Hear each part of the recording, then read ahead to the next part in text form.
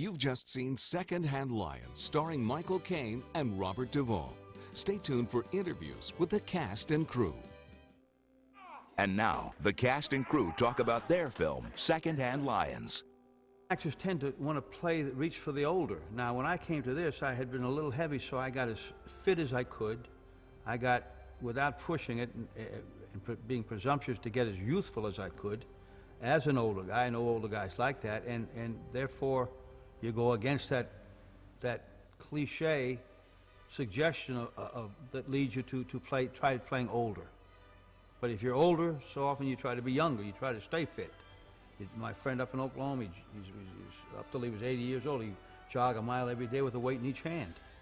So you just, you know, you're trying to recapture what you had at one time to a degree, you know.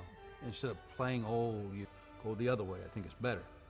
We met about 30 years ago in a picture called The Eagle Has Landed. We played two Nazi officers, but we haven't, we haven't even met since.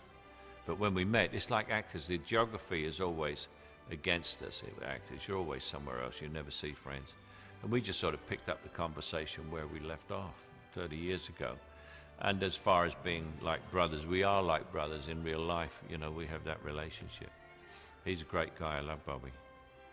You can see Secondhand Lions all month long on Starz.